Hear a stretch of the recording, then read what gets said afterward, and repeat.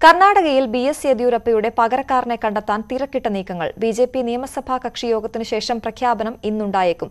ഉപാധികളിൽ കേന്ദ്ര നേതൃത്വം അനുകൂല തീരുമാനം കൈക്കൊള്ളുമെന്ന പ്രതീക്ഷയിലാണ് യെദ്യൂരപ്പ വിഭാഗം. ബംഗളൂരുവിൽ നിന്ന് രേവതി രാജീവിന്റെ റിപ്പോർട്ട്. ബി എസ് യെദ്യൂരപ്പ മുഖ്യമന്ത്രി സ്ഥാനത്ത് നിന്ന് രാജിവെച്ചതോടുകൂടി വളരെ വലിയ രീതിയിലുള്ള ചർച്ചകളാണ് കർണാടകയിലെ രാഷ്ട്രീയ വൃത്തങ്ങളിൽ നടക്കുന്നത് അടുത്ത മുഖ്യമന്ത്രി ആരായിരിക്കും എന്നത് എന്നുള്ളതാണ് ചർച്ച. ഇത് ലിംഗായത്ത് സമുദായത്തിൽ നിന്നായിരിക്കുമോ എന്നതാണ് ഏറ്റവും വലിയ ചോദ്യം. കാരണം ബി എസ് യെഡിയൂരപ്പ ലിംഗായത് സമുദായത്തിൽ നിന്നാണ്. ലിംഗായത് സമുദായം പതിനേഴ് ശതമാനത്തോളം വരും കർണാടകത്തിന്റെ പോപ്പുലേഷൻ. ബി ജെ പിക്ക് വളരെ പ്രധാനപ്പെട്ട ഒരു വോട്ട് ബാങ്ക് കൂടിയാണ്.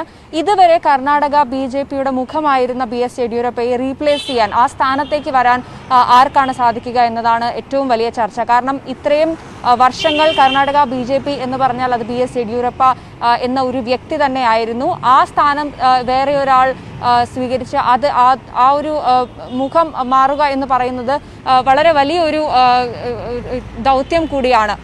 അതുകൊണ്ട് തന്നെ ഇവിടെ വരുന്ന പുതിയ മുഖ്യമന്ത്രി അത് ലിംഗായത്ത് സമുദായത്തിൽ നിന്നായാലും വേറെ ഏത് സമുദായത്തിൽ നിന്നായാൽ കൂടി തന്നെ അത് വി എസ് യെഡ്യൂരപ്പയുടെ പിന്തുണയോട് കൂടി തന്നെ ആയിരിക്കണം. കാരണം അദ്ദേഹത്തിന്റെ പിന്തുണ ഇല്ലെങ്കിൽ അത് അദ്ദേഹത്തിനെ പിന്തുണയ്ക്കുന്ന സമുദായത്തിന്റെയും പിന്തുണ ഇല്ല എന്ന് തന്നെ വരുന്ന ഒരു സ്ഥിതിയാണ് കർണാടകയിലുള്ളത്.